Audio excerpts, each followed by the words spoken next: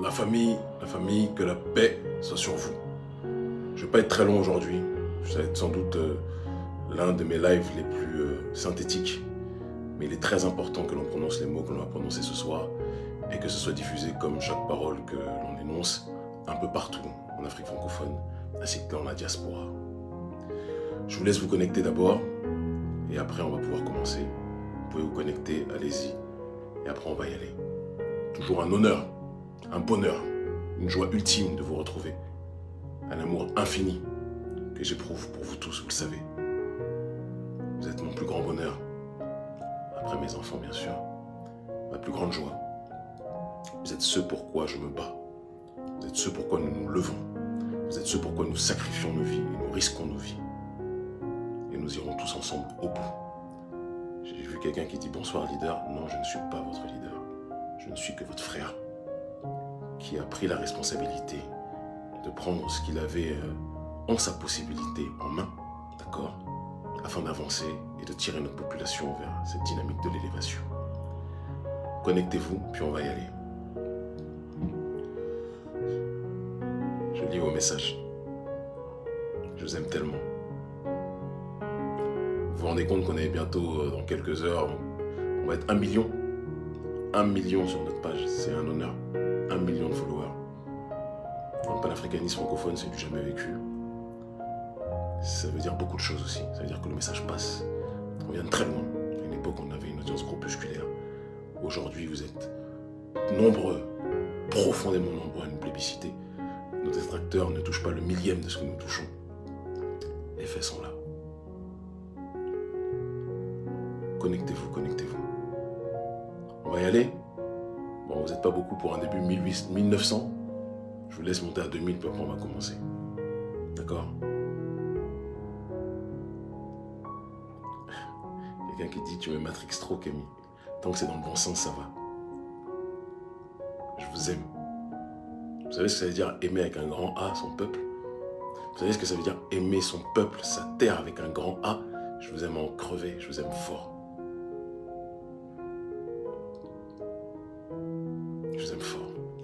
Allez, on commence, on démarre. Quand on parle, c'est important qu'on en parle parce que si on ne le fait pas, euh, les gens ne sauront pas dans quelle direction on va, dans quelle direction le monde va. Auparavant, avant l'effondrement du mur de Berlin, il y avait la confrontation entre deux blocs. Le bloc de l'Ouest, le capitalisme, on va synthétiser comme ça, et le bloc de l'Est, le communisme. Là encore une fois, on synthétise de cette façon. L'effondrement du mur de Berlin a vu euh, évidemment un courant gagner sur l'autre. Ce courant, c'était le courant du capitalisme qui, dans sa forme la plus ultime, a donné ce que nous connaissons aujourd'hui, le mondialisme néolibéral ou le globalisme néolibéral, qui n'est que l'autre forme de l'occidentalisation forcée du monde euh, dans son orientation de ce que l'on appelle le gouvernement mondial. Un monde qui veut uniformiser le reste du monde, qui veut uniformiser toutes les nations, qui veut déraciner toutes les nations, qui veut les forcer à accepter le schéma proposé par cette minuscule partie du monde pour nous désorienter et quelque part faire de nous des, peuples sans âme, des peuples sans culture, des peuples sans spiritualité, des peuples qui se préoccupent juste du physique mais pas de la métaphysique, des peuples qui se préoccupent du visible mais jamais de l'invisible, des peuples qui ne sont pas liés à cette démarche transcendantale, des peuples qui sont dans une, en quelque sorte dans une logique de McDonaldisation des esprits, pour synthétiser de cette façon. Mais malheureusement pour euh, ce nouvel ordre mondial, ce globalisme néolibéral ou cette occidentalisation suprémaciste forcée qui se répand un peu partout, il est apparu au cours des dernières années, d'accord, aux quatre coins du monde, au sein des peuples des résistances. Des gens qui disent qu'ils veulent protéger leur identité, qui veulent préserver leur pôle civilisationnel, qui veulent préserver leur culture, qui veulent préserver leur tradition. C'est de ça dont il s'agit. Et pour aller plus loin, qui veulent préserver la tradition, avec un grand T. Et je vous renvoie sur ce terrain à la réflexion d'un métaphysicien dont on ne parle pas assez, en l'occurrence René Guénon. Quand il parle de la tradition primordiale, il explique que ce que l'on nous présente comme le monde moderne, le monde du progrès, n'est en réalité rien d'autre qu'un monde de l'abrutissement de l'âme, de l'abêtissement de l'âme, d'accord, et de la désorientation de l'âme, que plus on s'éloigne du message primordial, du divin, de la force transcendantale vis-à-vis des peuples de l'humanité. Et plus on va vers un futur qui en réalité s'éloigne donc de ce message primordial, plus on va vers une dégénérescence à pas forcer. Cela ne signifie pas que tout ce qui est du domaine du présent ou du futur n'est que bêtise, n'est qu'éloignement, etc. Mais quand vous êtes dans une dynamique métaphysique et que vous finissez par vous couper, par oblitérer votre réflexion vis-à-vis de tout ce qui est du domaine transcendantal pour ne vous préoccuper que du matérialisme, la réflexion en tirée, c'est que vous êtes déconnecté du réel. Parce que nous, nous sommes les, peuples traditionnels des quatre coins du monde, que ce soit les peuples africains, que ce soit les peuples amérindiens, que ce soit les peuples asiatiques, que ce soit les peuples euh, arabes en tant que tels ou autres, les vrais savent. Des peuples enracinés savent que le visible décide de l'invisible. Ou du moins, excusez-moi, que l'invisible, excusez-moi, que l'invisible découle ou décide du visible. Et pas le contraire. L'invisible décide du visible. Et certains veulent nous oblitérer dans leur monde uniquement matérialiste, d'accord Veulent nous couper de cette réalité-là, de cette racine vis-à-vis du transcendantal, et nous forcer à ne nous préoccuper que, justement, du monde matériel dont ils ont le contrôle, le fer, le métal, la matière de manière générale. Là, je prends des métaux, mais ça peut être n'importe quoi, d'accord Tant que c'est palpable, c'est ce qui les intéresse, et ils veulent nous réduire à cela. Face à l'arrogance, justement, du monde moderne, symbolisé par l'oligarchie occidentale et l'oligarchie américaine, on a euh, vu donc des pôles de résistance en Amérique du Sud, Hugo Chavez, en Iran à l'époque avec mon grand frère que j'aime profondément, Mahmoud Ahmadinejad, même si ça ne veut pas dire que je suis d'accord sur tout avec ce qu'il dit, mais que j'aime énormément, ou euh, de l'autre côté euh, avec Vladimir Poutine aujourd'hui, ou à d'autres endroits, des gens se sont levés et ont dit nous voulons préserver notre identité et nous ne voulons pas accepter votre globalisme néolibéral. Un néolibéralisme à la fois économique, que nous connaissons, mais un néolibéralisme dont on ne parle pas assez, qui est un néolibéralisme sociétal, qui est la définition, l'axe de réflexion du progressisme dont nous parlons. Le progressisme qui nous fait comprendre que par exemple un homme aujourd'hui peut accoucher d'un enfant et on nous dit c'est le progrès, mais on n'est pas tous d'accord avec ça. On n'est pas obligé d'être tous d'accord avec ça. D'accord? Ça ne veut pas dire qu'on ne doit pas respecter les diverses euh, réflexions ou sensations de l'être humain. Chacun a le droit de vivre comme il le veut, comme il le doit et a, se, doit d'avoir son rapport avec le transcendantal. Chacun fait ce qu'il a à faire. Personne n'a à juger. Mais il y a des nations qui ont le droit, des peuples qui ont le droit de vouloir préserver leur identité.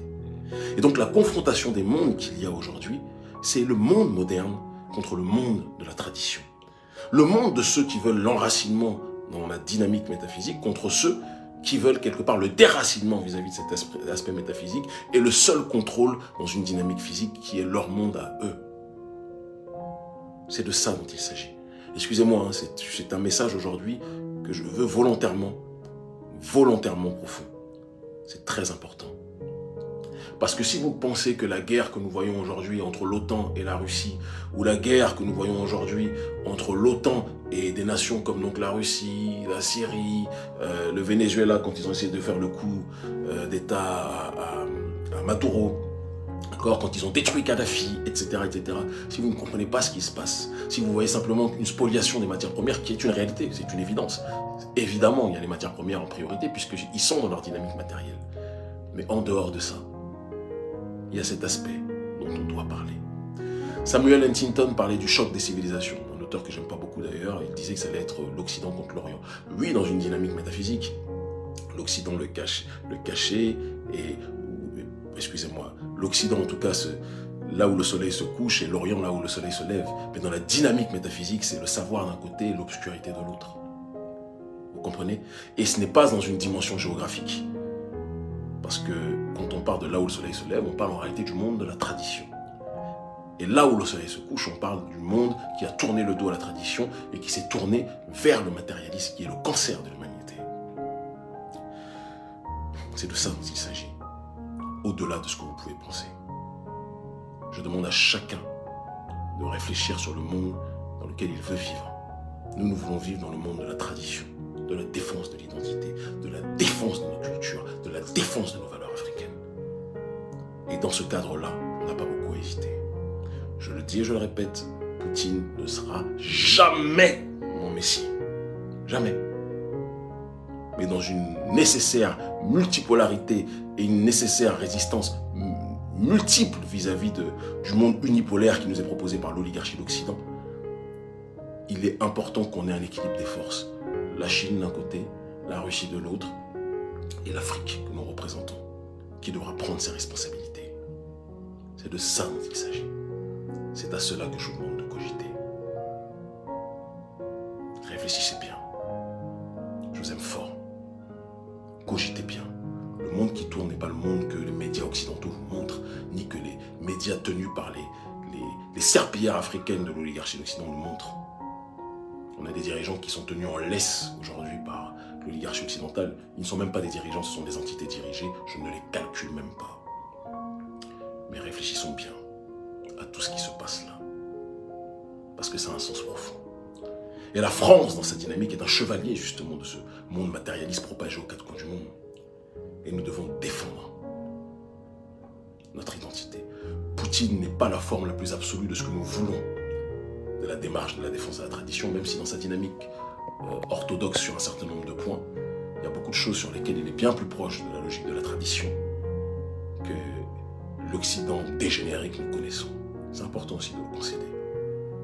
Mais nous devons nous centrer sur nous-mêmes, regarder ce qui se fait autour de nous, observer les rapports de force et réaliser que ce que fait Poutine aujourd'hui, c'est un caillou dans la chaussure du nouvel ordre mondial. C'est de ça dont il s'agit. Je vous aime. Analysez, lisez, étudiez. Il y a quelqu'un qui me dit, euh, un ignorant qui dit Poutine fait partie de leur game. S'il faisait partie de leur game, ils ne seraient pas tous en train de craquer contre ce dernier. Je le redis, c'est pas notre messie. Mais Poutine est un caillou dans leurs chaussures. C'est tout ce que je dis. Vous comprenez ça? Je vous aime fort. Putain, si vous saviez.